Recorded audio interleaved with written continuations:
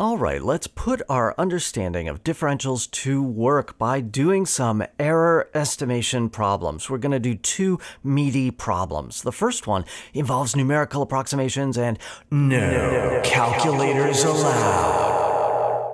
We're going a little crazy here. What is the approximate value of 15 divided by 4.9 times pi times cosine of 3 in radians? No calculators. What are you going to do? Are you, are you going to say, I I don't know. Where's my calculator? Okay, consider the following function of three variables. f of x, y, and z is 15 divided by x times y times z.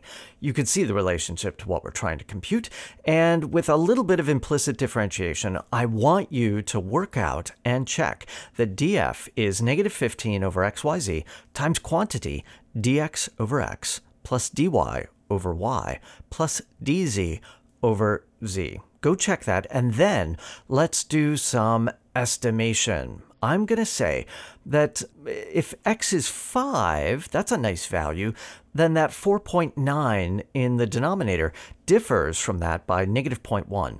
Likewise, for that pi term, I'm going to say, oh, you know what? Let's let y be equal to 3 and dy be equal to 0.14159265. Let's just call it 0.14. This last one, the z value, we're going to have to think a little bit harder because I need to estimate cosine of 3. I know what cosine of pi is. That's negative 1. Let's call that z. Cosine of 3 is cosine of pi minus 0.14 mm, some other stuff. Let's uh, use our knowledge of the Taylor series of cosine about pi to say that this is really negative 1 plus 1 half times 0.14 squared. 0.14 squared, that's like 0.02 something something something, divide by 2, that's 0.01. Uh, negative 1 plus 0.01, that's minus 0.99. That means my dz term is going to be approximately 0.01. Now, this isn't exact, but look, we're approximating. This is going to be fine.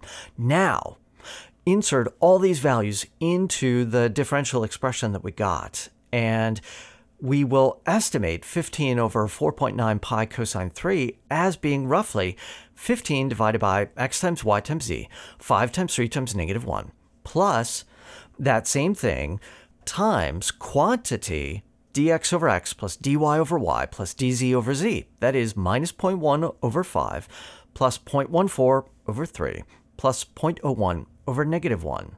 Now, even without calculators, we can do all of this stuff by hand. The uh, 15 divided by uh, 15 times negative 1, that's a negative 1. And then minus 0.1 divided by 5 is minus 0.02. And 0.14 divided by 3, that's roughly 0.047 and then 0.01 divided by negative 1 is minus 0.01. Add those together, add that negative 1, I get negative 0.983. That's our estimate. What's the truth? The truth, according to the calculator, is minus 0.94 other stuff.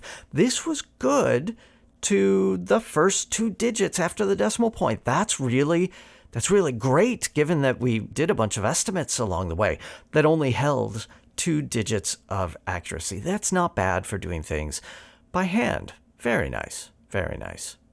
Okay, here's another example having to do with, uh, with tolerances in a more architectural setting.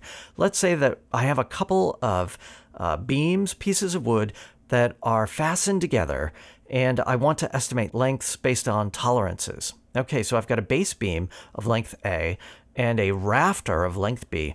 They are joined together at an angle theta and held up by a strut of length L, capital L. Now, let's say that I know the base beam length, A, is 24 inches.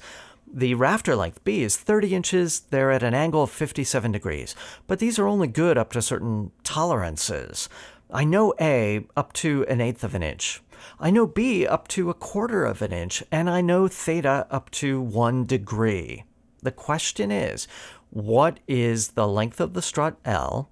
And how good is our estimate? How confident is our estimate? What's the tolerance on that. So let's use the law of cosines to relate all these terms together. You might have to go look that up.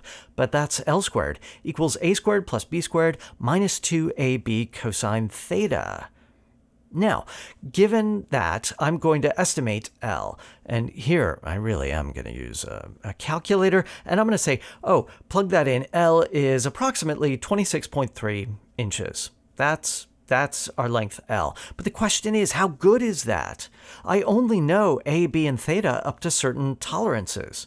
So I only know uh, A up to an eighth of an inch. That means dA is bounded above by one eighth.